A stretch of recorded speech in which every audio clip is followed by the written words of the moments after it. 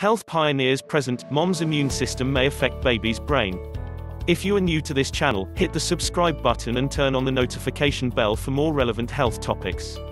If a pregnant woman's immune system is activated, it can affect her child's brain development, new research suggests. A number of triggers, infections, stress, illness and allergies, can activate the immune system. This causes proteins to be released as part of an inflammatory response.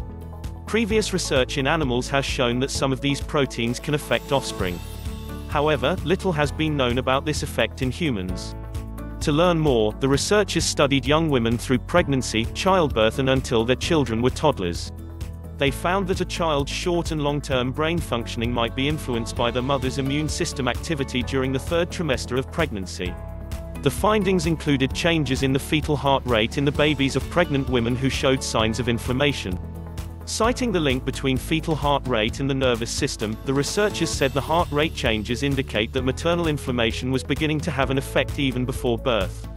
In the first few weeks after birth, brain scans taken on the newborns revealed disruptions in the communication between various regions of the brain in children whose mothers had elevated proteins during pregnancy that signaled inflammation.